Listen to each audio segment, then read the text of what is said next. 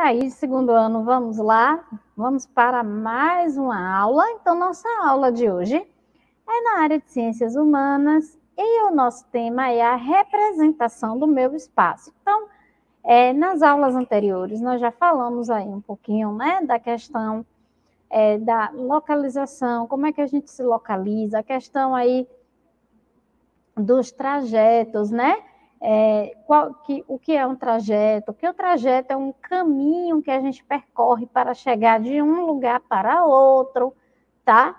E aí agora, como é que a gente pode, então, representar é, esses lugares onde a gente faz o trajeto, tá? Então, a Pro trouxe aqui é, algumas considerações para a gente compreender um pouquinho mais esse tema, tá? Então, vamos lá? Então, a primeira coisa que a Pro quer mostrar para vocês, ó, veja como a Aline desenhou sua sala de aula. Então, essa é a sala de aula, tá? De Aline, da escola que ela estuda. E aí, ela fez esse desenho para representar a sua sala de aula. Então, observa os detalhes aí do desenho. Vou dar um minuto aí para o segundo ano observar, para a gente discutir um pouquinho, tá?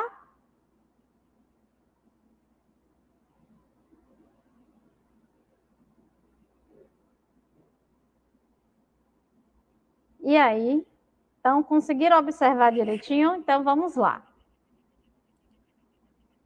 Então, vamos falar um pouquinho. A Pro colocou aqui de novo, vamos falar um pouquinho, tá?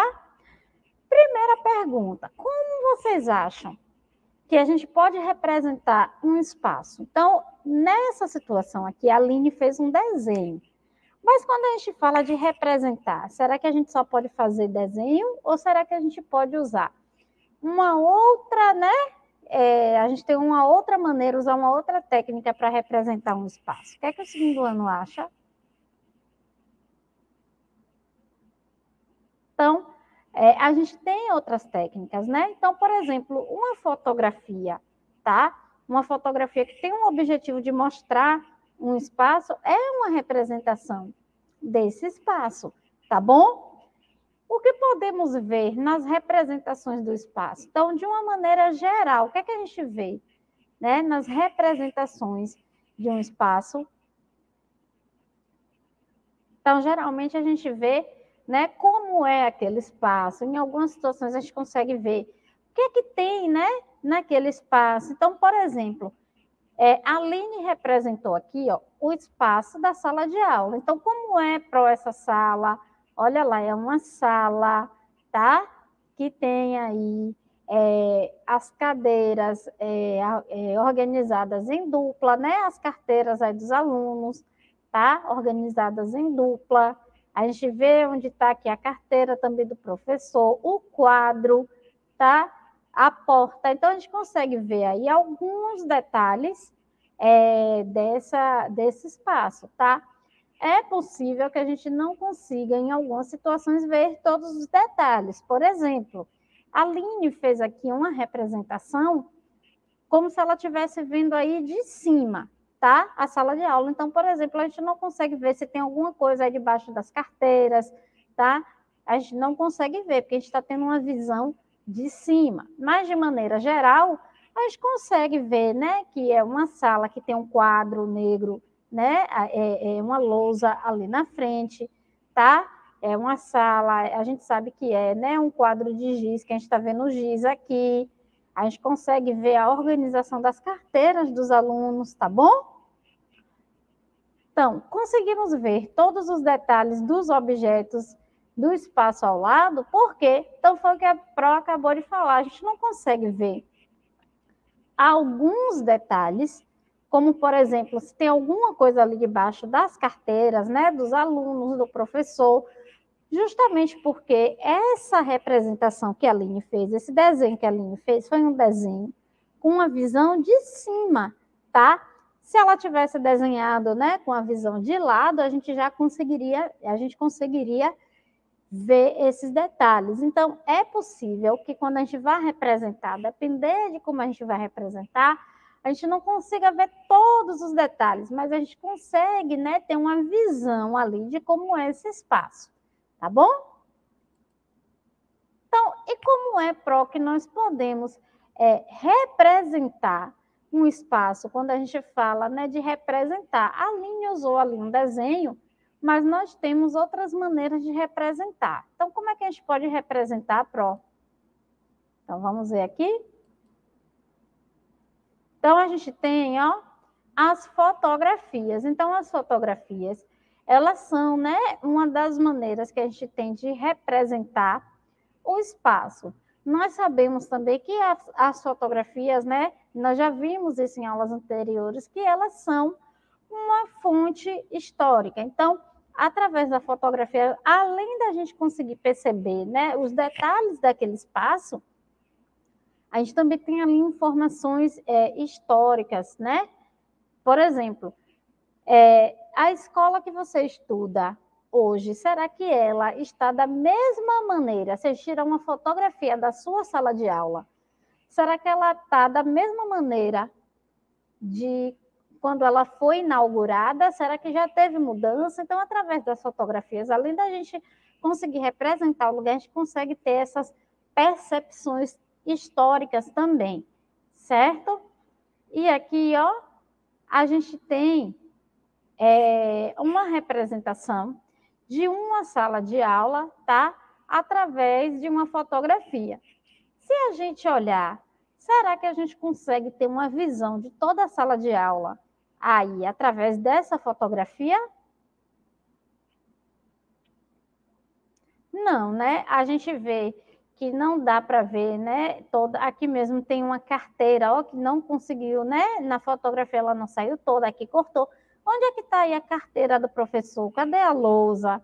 Então, aqui também a gente é, não conseguiu ver alguns detalhes, no entanto, a gente já consegue ver outros detalhes. Então, a gente consegue ver que tem uma organização diferente, né, da sala de aula, por exemplo, que foi representada por Aline, né, lá as carteiras eram organizadas em dupla, aqui estão em fileira, certo? Então, a gente consegue já ter algumas percepções também desse espaço. É uma representação, certo? Olha lá, os desenhos, né, também são uma forma de representar o espaço, certo? Então, essa aqui é uma representação de uma sala de aula também é, utilizando um desenho, certo? Então, como é que foi representado? Olha lá, a criança que desenhou ó, uma porta, tá? A gente consegue ver que a porta está do lado direito, a porta de entrada. As carteiras estão aqui organizadas em fileira. Em frente tem aí ó, a carteira do professor. A gente consegue ver o quadro. A gente não tem a visão do quadro, mas a gente tem a visão ó, do armário. A gente sabe que lá no fundo dessa sala de aula tem um armário, tá bom? Então, a gente perdeu aí alguns detalhes, mas a gente consegue ter uma percepção como é que essa sala de aula está organizada, certo? Outra maneira de representar são as maquetes. As maquetes, elas é, podem ser também é, confeccionadas utilizando vários tipos de material inclusive material reciclável, tá? Então existem aí maquetes de isopor, de papelão, tá? De todo tipo de material, tá? Inclusive material reciclável. Então, essa é uma representação de uma escola através de uma maquete, certo? E agora, a Pro trouxe é, uma atividade para o segundo ano, que é uma caça ao tesouro. Quem aí gosta de caça ao tesouro? E aí, quem gosta de caça ao tesouro?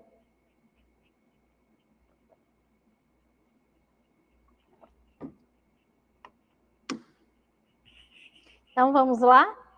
Olha só, vamos seguir as orientações para a gente encontrar aí esse tesouro. Tiago encontrou no jardim da escola um envelope com as orientações e o mapa abaixo. Então, vamos ler as orientações? As orientações é aqui, ó, nesse, nesse papel colorido, tá? A escola tem uma sala com vários tesouros escondidos. procure outra pista no armário azul da secretaria. Então, ele chegou aqui, ó, é, na escola, tá? E aqui a gente também tem o mapa da escola, certo? Então, o mapa da escola, é, essa é a frente da escola. A escola, né, tem um jardim, tá? E ele encontrou esse envelope no jardim. A orientação era que ele fosse aonde buscar outro, outro, outra orientação? No armário azul da secretaria. Então, como é que eu vou localizar a secretaria Pro? A gente precisa conhecer aqui os espaços da escola, tá? A escola ó, tem uma quadra, certo? A escola tem as salas de aula, tem o pátio, e aqui tem a parte, né, do prédio aí, ó, da secretaria, da, o prédio da é, a sala da diretoria, a cantina e a biblioteca, certo? Então, a orientação é que ele vá até o prédio da secretaria, tá? Então, bora lá.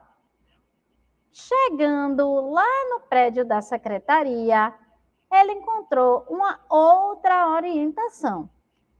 Então, vamos ler. Os tesouros estão guardados na última sala à direita, à direita da sala da diretoria.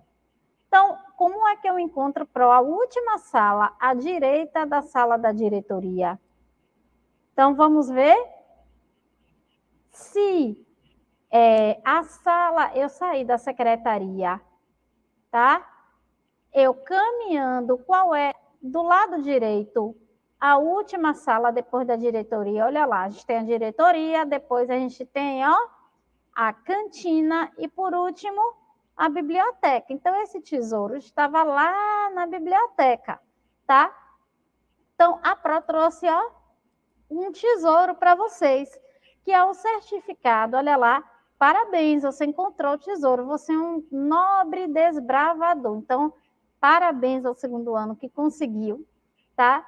E olha só, em qual sala estava o tesouro? Qual era o segundo ano mesmo? A última sala é, do lado direito é, da, da diretoria.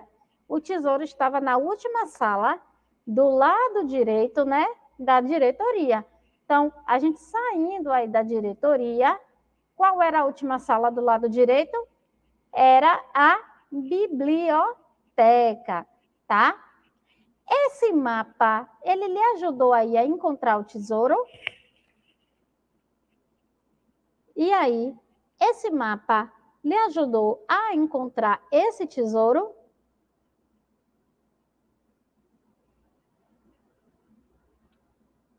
Então, o mapa ele foi importantíssimo. Por que, Pro? Porque o mapa tem a representação da, dos espaços da escola. E a escola, né, é, tinha algumas pistas aí desse tesouro escondidas aí, né? Então, no jardim tinha uma pista, é, na secretaria tinha outra pista. Então, é, se a gente não souber a localização, se a gente não tivesse esse mapa em mãos, provavelmente seria mais difícil de a gente encontrar esse tesouro, tá bom? Então, o mapa ajudou, tá? E, principalmente, vamos imaginar aí que Tiago é, é, um aluno novo na escola, vamos imaginar que é o primeiro dia de aula dele, se ele ainda não conhecesse o prédio da escola, já imaginou você chegando na escola nova, no primeiro dia de aula, você entrou na escola, você ainda não conhece o prédio, encontrou essa pista no jardim dizendo que ia ter uma caça ao tesouro, mas você não conhece o prédio, como que você ia se localizar? Então, conseguiram compreender a importância desse mapa, tá? Para localizar esse tesouro. Então, foi através do mapa que Tiago conseguiu é, se localizar ali, descobrir né, os espaços da escola, tá? Quantos espaços diferentes há nessa escola? Então, vamos contar, segundo ano, vamos descobrir aí. Quantos espaços diferentes temos nessa escola? Então, vamos lá, ó. Jardim, né? Um, quadra, dois. Então, ó, três, quatro, cinco, seis, sete, 8, 9, 10, 11, 12. Então, aqui no mapa estão representados 12 espaços diferentes, tá?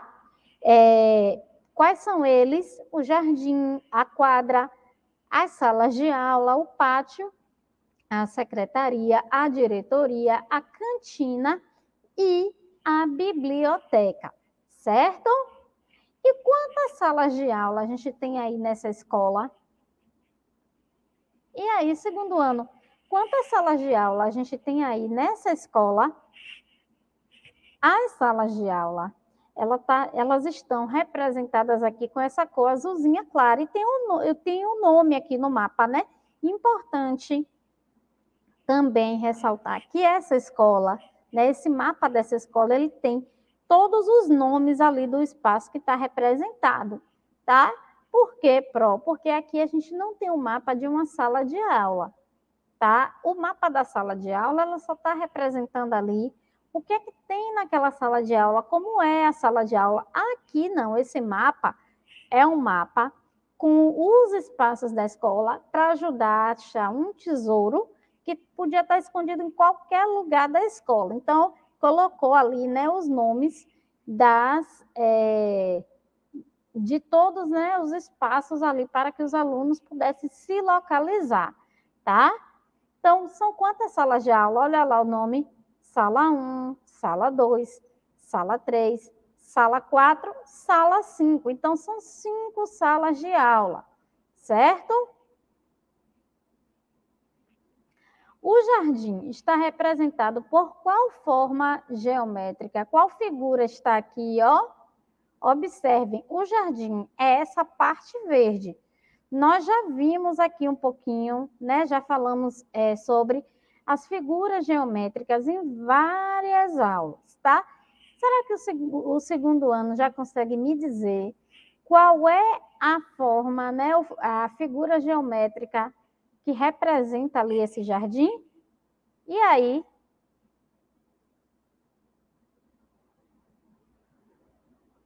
Então, é... será que é um círculo? Será que é um triângulo?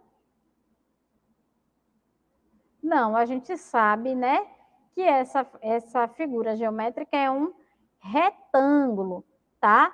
Como é que eu sei que é um retângulo? Pro? Olha lá, ela não tem todos os lados iguais, ela tem esses dois lados aqui iguais, tá? E esses dois lados aqui iguais. No entanto, esses dois lados são menores do que os de cá. Certo? Então, é um retângulo, tá? Essa escola segundo ano, ela se parece com a sua escola?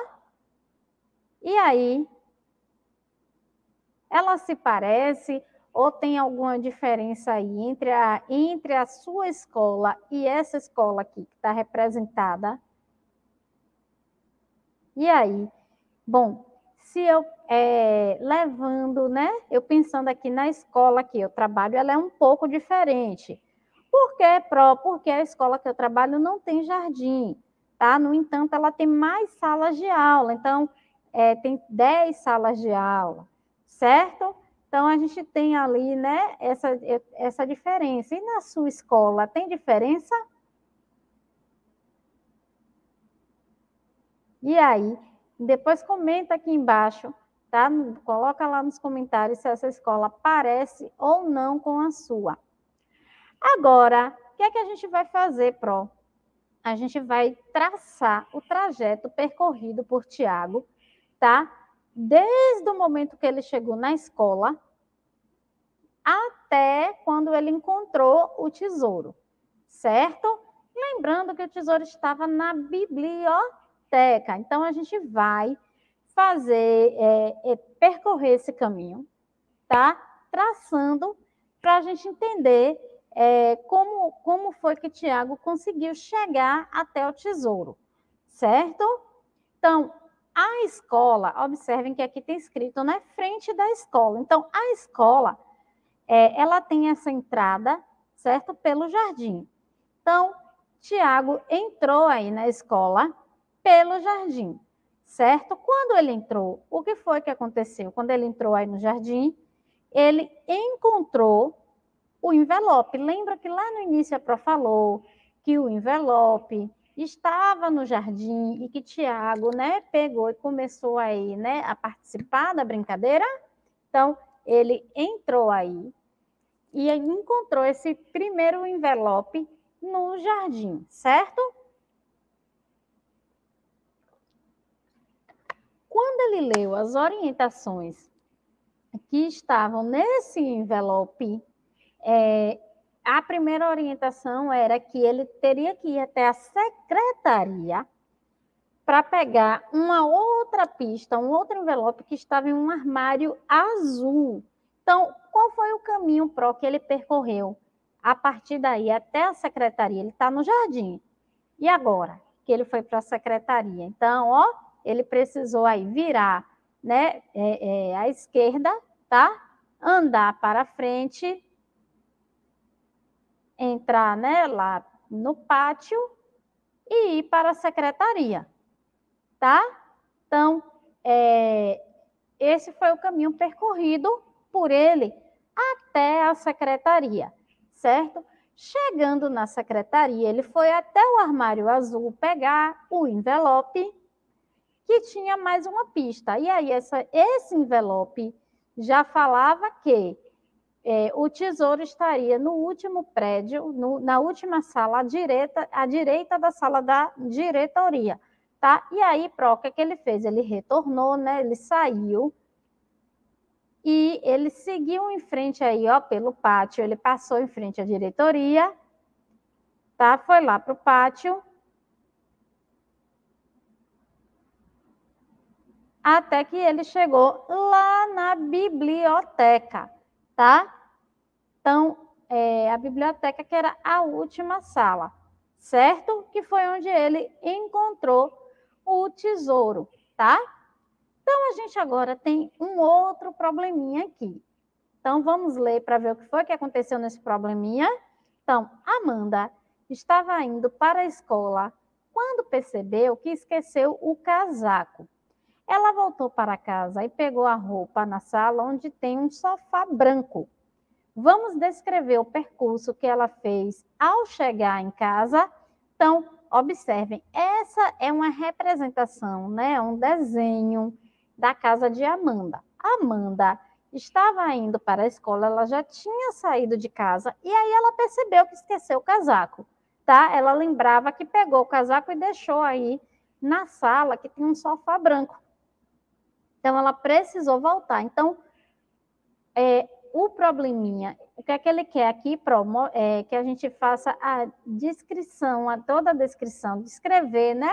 Como foi que ela fez para chegar até essa sala quando ela entrou em casa. Então, vamos lá. Olha só, vamos ver como foi primeiro, antes da gente escrever aqui. Então, ela entrou, né? A gente vê a varanda, ela entrou. Quando ela entrou, ela já passou aqui, né?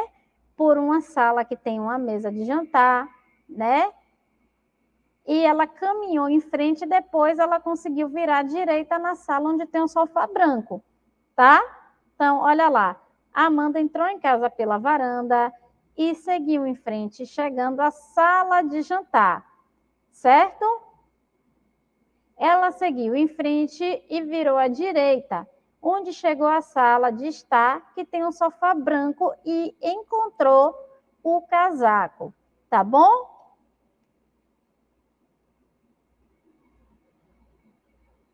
Olha lá, mais um probleminha. Então, vamos lá? É, Roberto trabalha no bairro representado no mapa abaixo. Então, aqui a gente tem um mapa, tá? Que representa aí um bairro e Roberto trabalha nesse bairro. Esse bairro, né, ele tem é, as ruas, essas ruas têm nomes de estados brasileiros e tem alguns estabelecimentos, tá? Então, a gente precisa seguir as pistas para descobrir onde é que ele trabalha. Então, esse probleminha aqui, ele está trazendo algumas pistas e a gente precisa seguir essas pistas para descobrir onde é que Roberto trabalha. Então, a gente tem, ó, observa lá o nome das ruas que representam aí os estados brasileiros. Rua Paraná, Rua Rio de Janeiro, Rua São Paulo, Amazonas, Goiás, Rio Grande do Sul, Bahia e Ceará. E a gente tem aqui alguns estabelecimentos que tem os símbolos aqui, tem uma legenda nesse mapa, ó. A cruz vermelha é o hospital, o prédio com a bandeirinha é a escola, os pães representando aí a padaria, o carrinho o supermercado, e assim por diante. Então, quando a gente encontrar aí o símbolo, a gente vai ver onde é que ele trabalha, tá? Então, agora, o que a gente vai fazer é seguir as pistas, tá? É, Para descobrir onde é que ele trabalha. Então, primeiro, ó, a primeira pista. Todos os dias, Roberto segue pela rua que tem em frente a biblioteca. Essa rua é a Rua Bahia, tá? E tem uma biblioteca. A biblioteca é representada pelo livro. Então, olha lá o livro Rua Bahia. Então, ele vem pela Rua Bahia e segue em frente. E depois, ó, ele vira à direita dele, na rua que está a escola, que é a Rua Rio Grande do Sul. Então, ele virou aqui para a direita dele, certo? Depois ele segue em frente, tá? E vira à esquerda, à esquerda dele, na rua é, Paraná. Depois ele segue em frente e vira à esquerda na rua São Paulo. Então ele chegou na rua São Paulo, ele encontrou ó, o banco representado pelo dinheiro e o supermercado aqui representado pelo carrinho, tá? Então, e agora? A gente já chegou na rua que ele trabalha falta a gente descobrir onde é que ele trabalha, porque nessa rua ele tem um supermercado e também tem um banco. Onde é que Roberto trabalha? O que é que ele fez, Pro? Ele virou para a direita dele, tá? Ele tá de frente, ó, a frente dele tá para cá. Então a direita dele, ó, vai estar para onde tem as notas verdes. A nota verde, né? As notinhas verdes ali estão representando o banco. Então, Roberto aqui trabalha no banco desse bairro, tá bom? Então, conseguimos fazer aí a localização desse bairro através é, desse mapa, certo? E aí, segundo ano, gostaram da aula de hoje? Foi uma aula bem legal, a gente brincou, teve uma caça ao tesouro, vocês ganharam aí o certificado, né? De nobre desbravador. E chegamos ao fim, né, de mais uma aula. Então, as recomendações que a PRO sempre deixa aqui no final para o segundo ano, tá?